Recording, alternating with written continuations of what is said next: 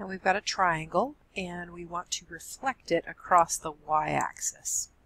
And so a reflection literally is like saying that this y-axis is like a mirror.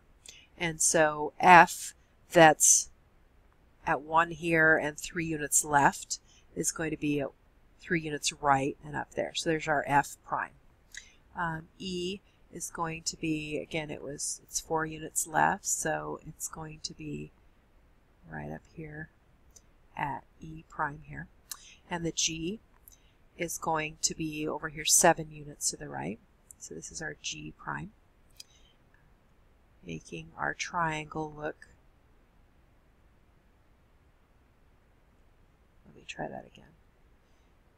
That F was the prime, right? okay, that's how our triangle looks when it's reflected across that y-axis. And so we're interested in the coordinates of F prime, which would be 3, 1.